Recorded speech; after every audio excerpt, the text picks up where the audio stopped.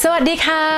สวัสดีแฟนเพจ ข่าวลูกทุ่งทุกคนเลยนะคะ วันนี้นะคะ นุ้ยมาพร้อมขนมถาดนี้ค่ะ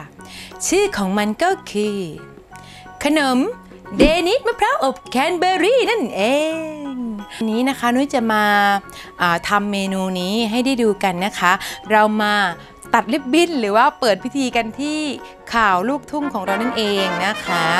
เริ่มดูส่วนผสมกันนะคะในการทำมะพร้าวอบแคนเบอรี่นะคะ ก็คือเป็นขนมเดนิสชนิดหนึ่งนะคะ แล้วก็เราเอามาทำเป็นมะพร้าวอบแคนเบอรี่ ซึ่งส่วนผสมของมันนะคะ ตอนแรกเนี่ยอันนี้นุ้ยก็กำลังจะเตรียม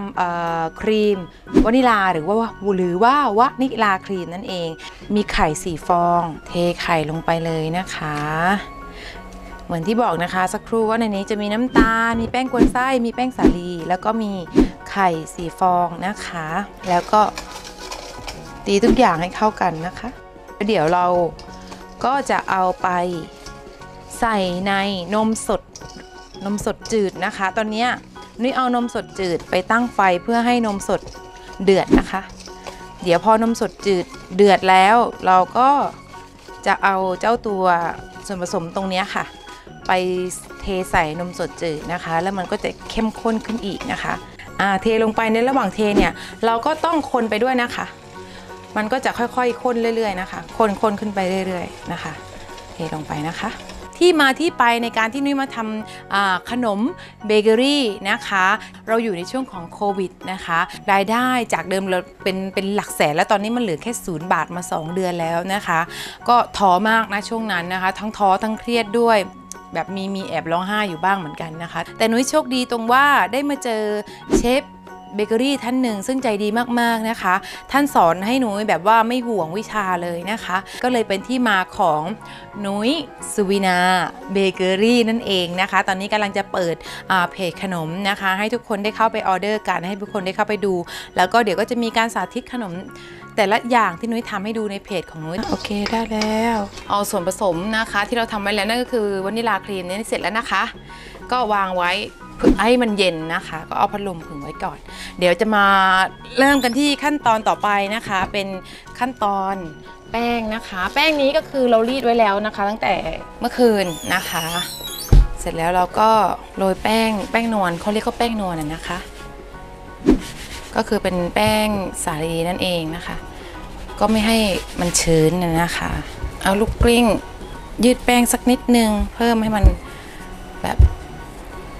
มีความกว้างออกไป เอาเจ้าวานิลาครีมตัวนี้นะคะลงไปในนี้เลยนะคะ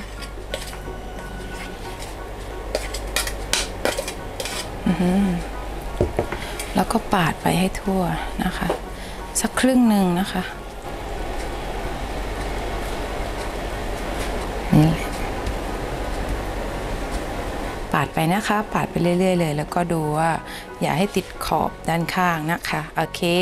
หลังจากปาดเรียบร้อยแล้วนะคะ เราก็เอาแคนเบอรี่มานะคะ ที่เราเตรียมไว้ โรยลงไปก็ให้มันอยู่ขอบๆเวลาคนทานก็จะได้กินขอบก็ยังโดนแคนเบอรี่อยู่อะไรเงี้ยนะคะ แล้วก็โรยไปให้ทั่วเลยนะคะ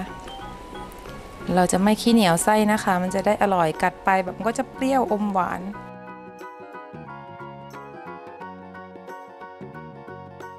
โอเค สวยงามค่ะ เราก็ยกส่วนนี้นะคะมาปิดเลย แล้วก็ตบ ให้มันติดกัน ไม่ต้องแบบว่าให้แน่นมากนะคะ แค่ให้มันติดกันนะคะ นี่นะคะตัดไปตามที่เราได้ทำเครื่องหมายไว้แล้วนะคะ วางใส่ตะแกรงนะคะ พื่อที่เดี๋ยวเราจะเอาไปคลุกกับมะพร้าวอบหอมๆของเรานั่นเองนะคะ เราจะใช้น้ำนะคะ ทาลงไปบนตัวขนมนะคะ ให้ชั่วทั่วเลยนะคะ เพราะว่าเดี๋ยวเราจะต้องคลุกมะพร้าว เสร็จแล้วเราก็ไปเตรียมอ่ามาแล้วค่ะ เป็นมะพร้าวอบนะคะ ตัวนี้นั่นเองนะคะ นะคะ ลงไปเลยค่ะ แล้วก็คลุกนะคะคลุลุกลงไป คลุกให้เต็มเลยนะคะ และวิธีการวางบนถาดแล้วก็บิดตัวมันอย่างนี้นะคะ บิดเสร็จเราเอามาวางบนถาดเลยค่ะแหมได้แล้วหนึ่งตัว เห็นไหมคะ มันก็จะเป็นรูปทรงนี่ก็เรียกเป็นการขั้นตอนการขึ้นรูปขนมค่ะ อ่าแล้วเดี๋ยวเราจะใช้พลาสติกนะคะ คลุมตรงนี้นะคะ แล้วก็ตั้งแป้งทิ้งไว้นะคะ ประมาณสักระยะหนึ่งนะคะ เสร็จแล้วหลังจากนั้นเราก็รอให้มันแป้งฟูแล้วเราก็นำไปเข้าเตาอบ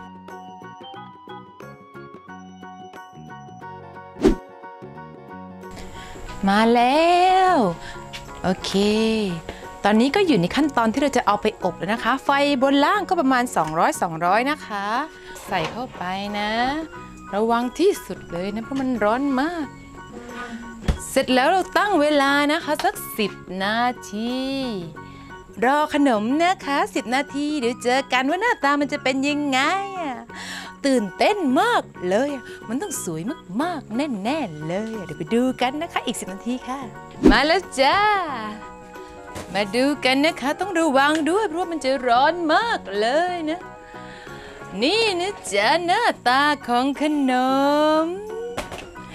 ขอปิดเตาก่อนนะ ตอนนี้อยากจะบอกว่ามันหอมมากเลยนะ ตัวก็ยังอวบอ้วน แต่ว่าเปลี่ยนสีจากขาวอวบเป็นดำอวบนั่นเองนะ โอเคเลยตอนนี้ ตอนนี้เราจะมาพลิกขนมนะคะ เพราะว่าเรากำลังจะโรย เจ้าไอซิ่งลงไป ตัวนี้จะทำให้เพิ่มรสชาติความหวานของขนมขึ้นมา เราก็ค่อยๆโรยลงไปวิธีการโรยก็ไม่ยากนะคะ เสร็จแล้ววิธีการอบขนม ของนุ้ยนะคะ เดนิสมะพร้าวอบแคนเบอรี่นั่นเอง อ่าเอาละค่ะวันนี้นุ้ยนะคะ พร้อมกับเจ้าขนมนะคะ ตัวนี้ก็ต้องขอบคุณข่าวลูกทุ่งด้วยนะคะ วันนี้ที่มาเป็นสื่อกลางให้นุ้ยได้ส่งกำลังใจให้กับแฟนเพลงนะคะ เพราะฉะนั้นนะคะนุ้ยอยากจะฝากทุกคนนะคะ เป็นกำลังใจให้กับทุกคนนะคะ บางคนบอกว่าตัวเองมีทุนน้อย ไม่รู้จะเริ่มคิดจะทำอะไรนะคะ ก็หยิบจับอะไรที่ใกล้ตัว ในจุดที่เรายืนอยู่เราทำอะไรได้ เราทำสิ่งนั้นนะคะ นุ้ยเป็นกำลังใจให้ทุกคนนะคะ เพราะกว่านุ้ยจะมาถึงจุดนี้เนี้ยนุ้ยก็ผ่านความลำบากนั้นมาหมดแล้วเช่นเดียวกันนะคะ ถ้าสนใจอยากสั่งขนมของนุ้ยก็ไปที่ Facebook ของนุ้ยได้นะคะ นุ้ยสุวินาอาสยามนะคะ ฝากไว้ด้วยนะคะ ขอบพระคุณมาก ๆ เลยนะคะ สู้ๆนะคะแล้วเราจะผ่านมันไปด้วยกันค่ะ